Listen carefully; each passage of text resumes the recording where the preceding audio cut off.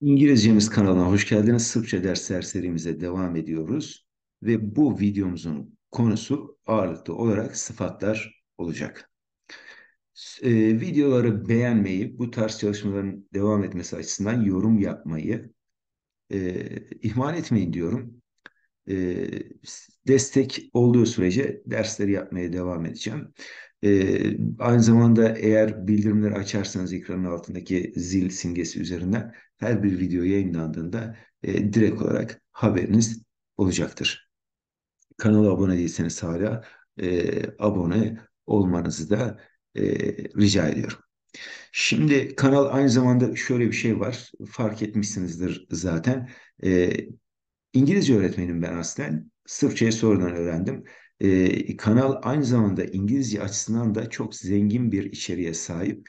Gerek siz gerek aile fertleriniz, çocuklarınız için de çok faydalı çalışmalar olacak. Evladiyelik çalışmalar var kanalda. Bu bilgilendirmeden sonra direkt dersimize başlıyoruz. Evet. Şimdi önce sözlük kısmıyla başlayalım. Kısa bir diyalogumuz var gene. Diyalogtan sonra sözlük ve ardından diyaloğu işledikten sonra konu anlatım kısmına geçeceğiz. Rečnik, sözlük. E, dobar, dobro, şurada bir yanlışlık olmuş tabii. Şöyle düzeltelim onu. Peki. Dobar, dobra, dobro. Üçü de iyi demek ama nedir? Sıfatlar da daha önce de bahsetmiştik zaten. C e, tanımladıkları ismi cinsiyetine göre şekil alıyorlar. Dolayısıyla er, eril isimleri tanımlarken dobar, e, dişi isimleri tanımlarken dobra, nötr isimleri tanımlarken de sıfat olarak dobro kelimesini kullanıyoruz. Duruk arkadaş demek. Ştaye on, ştaye on, o nedir demek, ştaye on.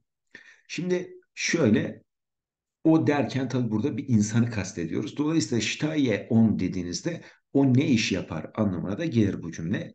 Lekar, doktor kelimesini daha önceki derslerimizden zaten hatırlıyoruz. İtalyan var. İtalyan, e, İtalyan okunuşu bizim Türkçedekine benzer. E, zemliya, zemliya ülke demek, ülke. Lep gene aynı şekilde bir sıfat. Dolayısıyla eril isimleri tanımlarken, güzel derken lep kullanıyoruz. Dişi isimleri tanımlarken lepa ve güzel anlamında nötr isimleri tanımlarken de kelimeyi lepo olarak kullanıyoruz. Durugaritsa. Şimdi duruk arkadaştı. Bu kelimenin dişil olanı Durugaritsa. Kadın arkadaş Durugaritsa. Novinar gazeteci. Amerikanka, Amerikan demek, Amerikanka. Tabii Amerikan kızı şeklinde böyle karşılık verdim ki dişil olduğu belli olsun diye. Yani dişi ismi tanımlarken Amerikan derken Amerikanka kullanıyoruz. Ve bir sıfatımız daha var. Velik, büyük, eril isimleri tanımlarken. Velika, dişi isimleri tanımlarken büyük. Veliko da e, nötr isimleri tanımlarken büyük. Şimdi diyalogumuza geçelim birlikte. Birinci konuşmacı başlıyor. Ovo je moj dobar drug. Bu benim iyi arkadaşım. Eril olduğu için görüyorsunuz dobar olarak kullandık sıfatı burada. Erkekler için o derken on kullanıyorduk. On Sezo ve Marco. Onun adı Marco'dur. Bu Sezo ve se konusu daha sonra gelecek zaten detaylı olarak. Bazı fiiller daima se edatıyla birlikte kullanılıyor. Dönüşlü e, anlamı kazandırıyor. Dönüşlük anlamı kazandırıyor. Yani o kendine Marco der. O kendini Mark olarak adlandırılır şeklinde gramatik olarak ama bunu düz olarak onun adı Marco'dur şeklinde yorumlayacağız. Steye on. Nedir onun mesleği? On ye lekar. O doktordur. Marco ye İtalyan. Marco İtalyan. Niegova zemlya ye lepa. Şimdi burada Niegov erkekler için onun demekti. Zemlya dişi bir kelime bakın A ile bitiyor. Dolayısıyla Niegov kelimesi de erkekler için onun anlamında kullandığımız Niegov kelimesi de sonuna A alıyor. Burada ben kendi Sırpça öğrendiğim dönemlerden de e, aynı şeyi yaşadığım için bir uyarıda bulunmak istiyorum. Kafamız karışabilir. Ya bu Niegov erkekler için onun sonunda niye A var diye. Önemli olan sıfatın kendisinin anlamı değil, arkasından gelen kelimedir hangi kelimeyi tanımlıyor? Dişi kelimeyi tanımlıyorsa Niegov'un sonuna A'yı getireceğiz. Niegova zemlya lepa onun ülkesi güzeldir. Ovo bu demekti. Ovo je moja dobra drugarica. Bu benim iyi arkadaşım. Buradaki arkadaş kadın olduğu için ne yapıyoruz? Moya, bakın iki sıfat birden var. Biri sahiplik sıfatı, o da sonuna a aldı. Biri iyi anlamına gelen sıfat, o da sonuna a aldı. Çünkü drugaretsa kelimesi dişildir ve a ile bitiyor. Benim iyi arkadaşım. Ona se ve Ana. Onun adı Ana'dır. Sezove'yi yukarıda açıkladık zaten. Bakın burada erkek için ştaye on, o ne iş yapar diyordu ama burada kadın kişi olunca ne oldu? Ştaye ona, o ne iş yapar? Ona ye novinar, novinar, novinar gazeteci. Ee, devam ediyoruz. Anaye Amerikanka. Şimdi gazeteci bir isim de burada ama Amerikanka bir sıfat. O yüzden anaya göre dişil olarak çekimlendi. Niena Zemliyaye Velika. Onun ülkesi büyüktür. Görüyorsunuz bakın Niegov erkekler için onun demekti. Daha önceki dersimizde gördük. Nien de kadınlar için onun demekti. Arkadan dişi bir isim geldiği için, aile bittiği için Niena olarak çekimlendi. Onun ülkesi büyüktür. Niena Zemliyaye Velika. Evet sözlüğümüzü zaten işlemiştik. E, şimdi sıfatlar ve cinsiyet şeklinde konu anlatımına geçiyoruz. Sıfatlar isimleri tasvir eden, tanımlayan kelimelerdir. Sıfatların sonlarını yani eklerini tanımladıkları ismin cinsiyetine göre e, e, değiştiriyoruz. Sıfatlar ya da sıfatlar sonlarını tanım, tanımladıkları ismin cinsiyetine göre değiştirirler. Erkek sıfatlar ünsüzle biter. Druk erkek kelimeydi, eril kelime. Dobar, druk iyi arkadaş. Dişi sıfatlar A ile biterler. Zemliya ülke A ile bitiyor. Dişi kelimeydi. Lepa zemliya güzel ülke. Nötr sıfatlar O ile bazen de E ile biterler. Daha önce de bahsetmiştik bundan. Dobro jutro günaydın ya da dobro veçe iyi akşamlar. Şimdi en son egzersiz kısmıyla da dersimizi bitireceğiz. Povežite rečenicu sa odgovaraja, odgovar, odgovarajućim pridevom. Bir de sıfat demek. E, odgovarajućim de uygun demek. E, cümleleri uygun sıfatla eşleştirin. Evet bazen dilim suçu çünkü ben kendim e, İngilizce öğretmeniyim. Yani YouTube kanalına yoğun olarak İngilizce çekimler yapıyorum. Aynı zamanda dil öğrenmeyi sevdiğim için yoğun bir şekilde Almanca da öğreniyorum ve sürekli diller arasında geçiş yaptığım için bazen arkadaşlar dilim sürçüyor. Bu anlamda kusura bakmayın cümlelere uygun sıfatla eşleştirin. Şimdi bakıyoruz. Moya kuça benim evim dedi. Ye'dir. Burada sıfat olarak ne vermiş bize? Küçük vermiş. Peki.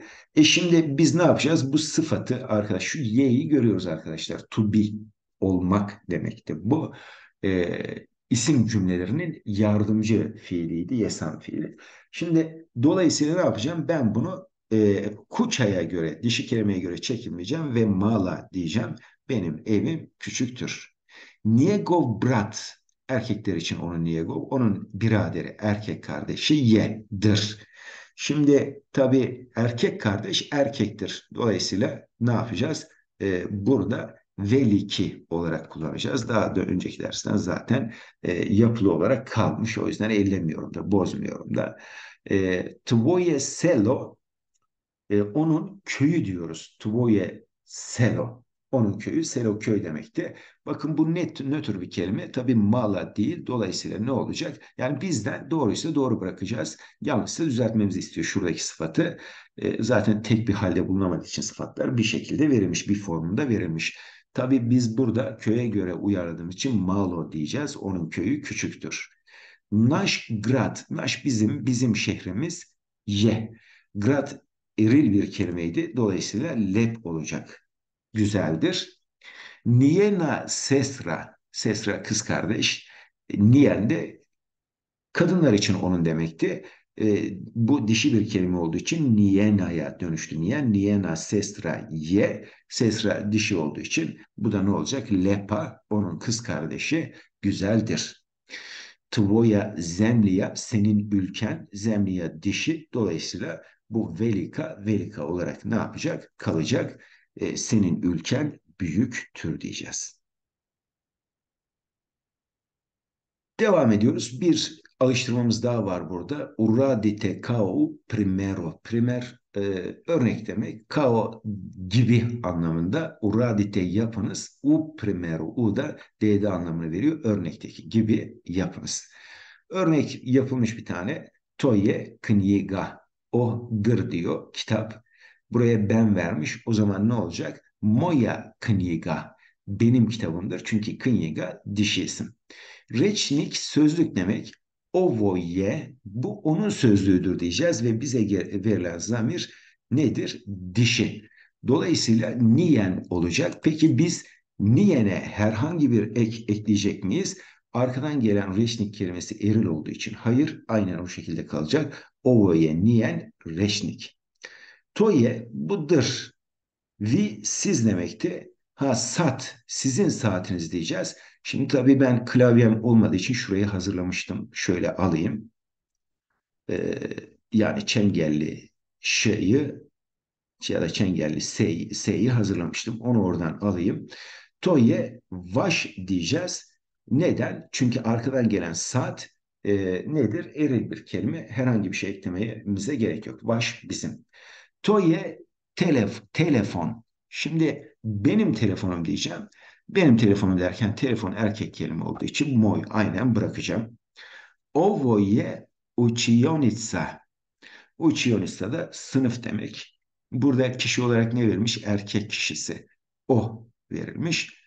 Ee, evet učionica ne olacak? Učionica dişi olduğu için dişi olduğu için şöyle yapacağız. Yani aile biten kelime olduğu için Niegova yapacağız. Niye? Gova učenica.